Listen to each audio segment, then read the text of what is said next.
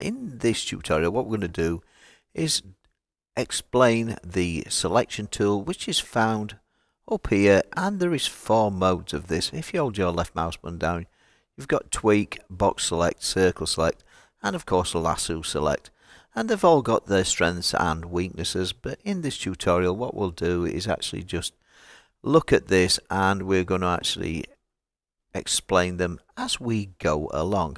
So for this uh, explanation, what we're going to do is I'm just going to duplicate this cube three times. G and X just to move it to the left.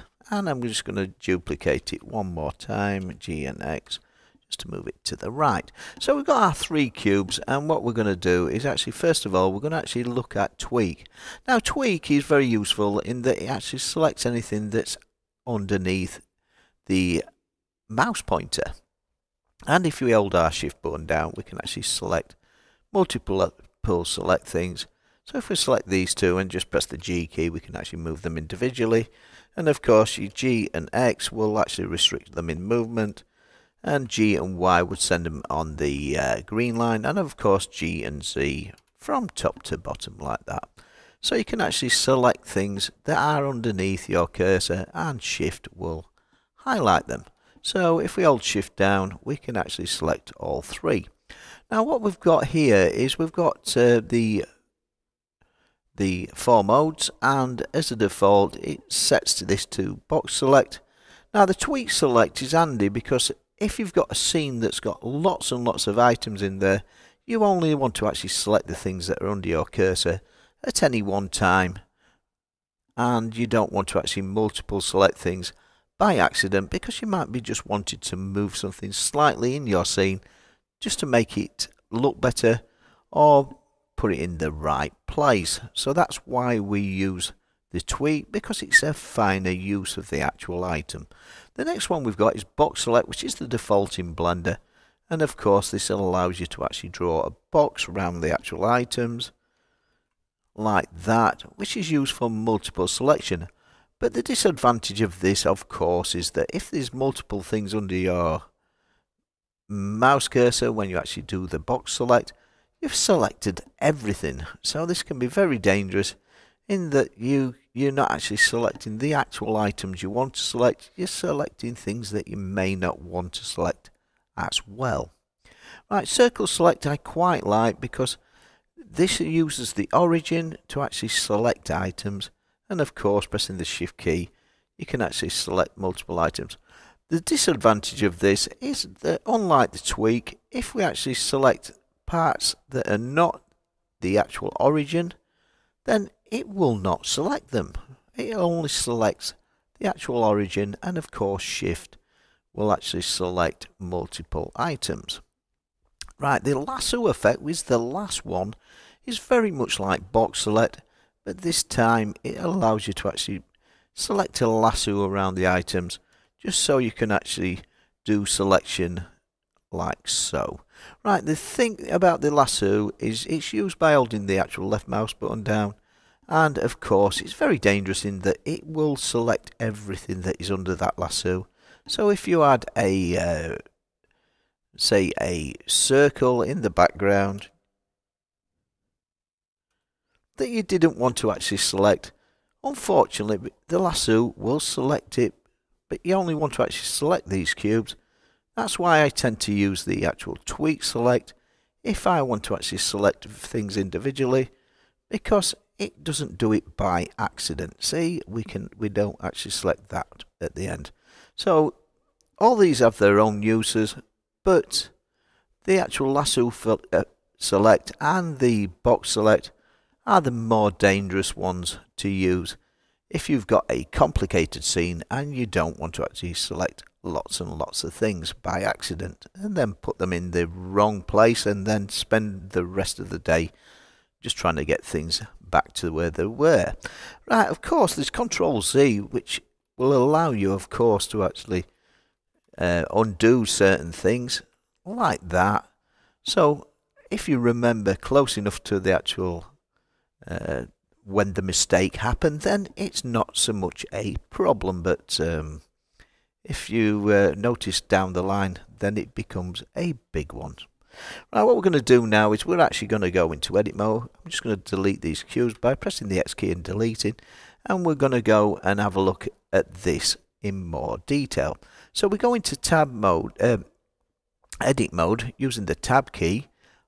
And you can do it two ways. You can do it up here by pressing the tab, uh, the edit mode like that or you can actually just use the quick key which is tab to take you in and out of edit mode.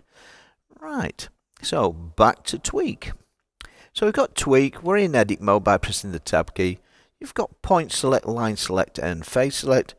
Now you can select these with your mouse but you can also press 1 2 or 3 on your keyboard which will take you into the different modes one of course is point select.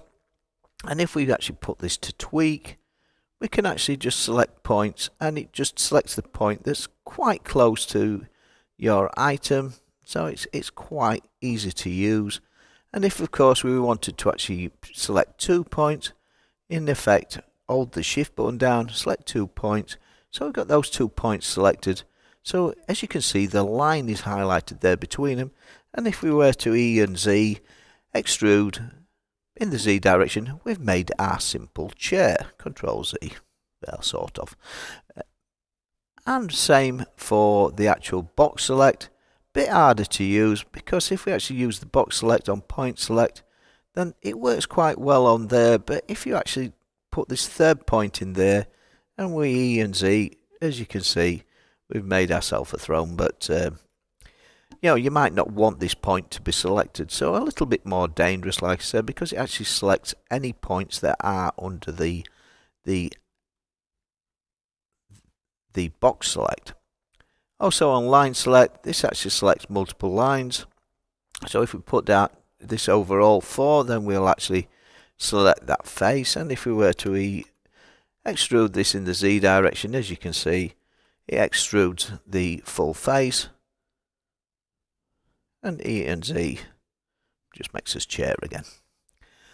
And lastly, we've got face select, which of course will actually select a face. Bit more dangerous in that uh, it's selected all these faces on the edge. It selects any part of a face that's actually under the the square. So it's not very intuitive and it uh, makes things a bit awkward to select unlike the uh, tweak. Right, the circle select is very handy for this kind of thing and we'll keep in the face select. As you can see, we can actually select multiple faces. Very easy with the actual circle select. And of course, holding the shift key down would actually select opposite faces in this case. Or we could actually select this face again. Keeping the shift key held down and selecting again doesn't deselect this time and you have to sometimes start again. As you can see it doesn't actually deselect this but it's quite easy to actually use and is handy for if you want to actually select faces and it works exactly the same if you actually want to select the line E and Z and we've got our chair again and of course point select under the circle only selects the points that you want to select and holding shift button down will actually select multiple points like so. Until I've got of course you've got the old face selected. And lastly we've got the lasso effect and as it did before the lasso under point select will select single points under line will actually select single lines or multiple lines depending on what points you cover with your lasso. Like that. Bit more dangerous but as you can see it's selecting them and if A, E and Z extrude and Z we've got our shape that we saw earlier on in the tutorial. Thank you for watching me on this tutorial and if you found it useful consider subscribing. Bye for now